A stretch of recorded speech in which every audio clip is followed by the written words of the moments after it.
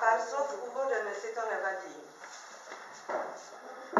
Určitě všichni víte, kdo to byl Jacques Prévert. Kdybyste to náhodou nevěděli, tak to byl velmi slavný a uznávaný francouzský básník. Máš pravdu, velmi slavný a uznávaný. A, a on byl tak dobrý, že až byl geniální.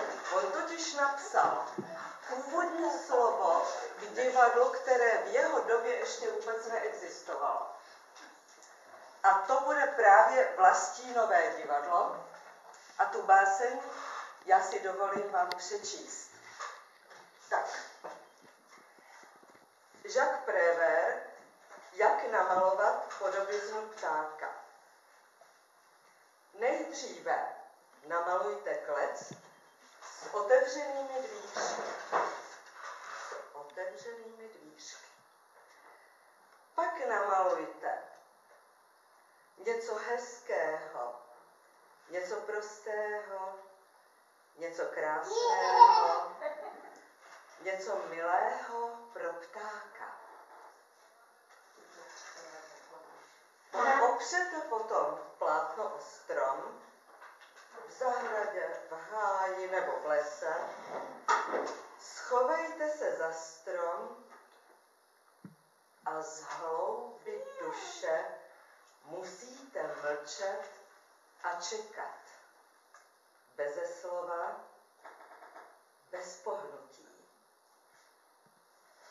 Někdy přiletí pták hned se vší kuráží, ale jindy může váhat celé roky, než se odváží. Nesmíte se dát odradit a čekat, čekat, je-li třeba celou věčnost. Přičemž rychlost nebo pomalost příchodu ptáka není v žádném poměru ke kvalitě obrazu.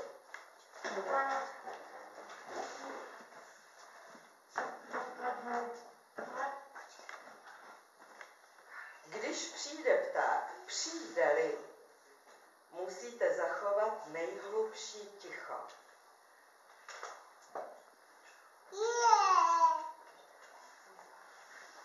Z hlouby duše mlčet, beze slova, bez pohnutí,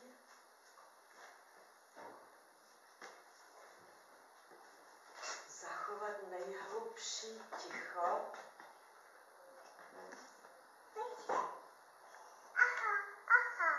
a čekat, až pták vstoupí do klece.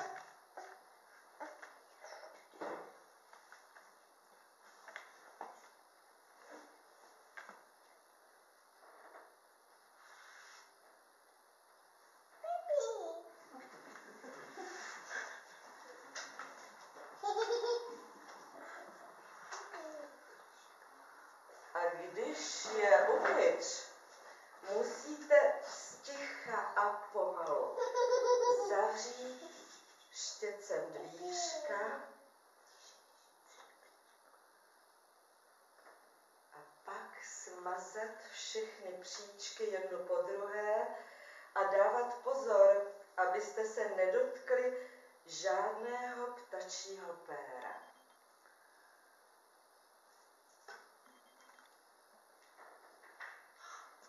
Namalujte potom obraz stromu a vyberte pro ptáka tu nejhezčí větev.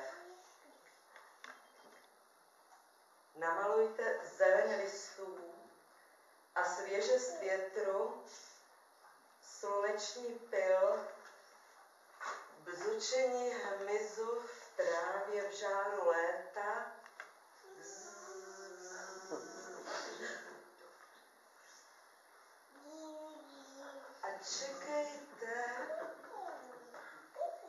až se pták rozhodne zpívat. Když pták nespívá, je to špatné znamení. znamení, že obraz nestojí za nic a jak vyhození. Ale zpívali, je to dobré znamení, že obraz je bez kazu, znamení, že můžete obraz podepsat. Tehdy vytrhněte z lehínka ptákovi jedno péro a napište své jméno do rohu obrazu.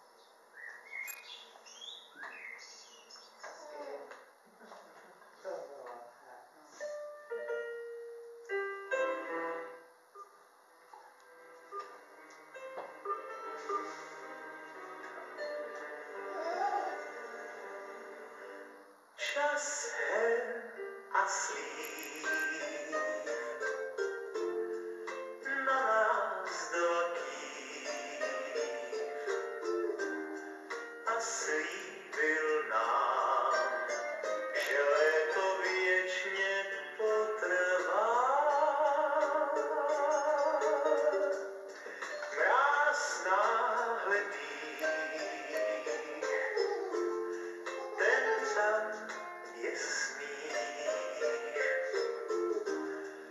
आया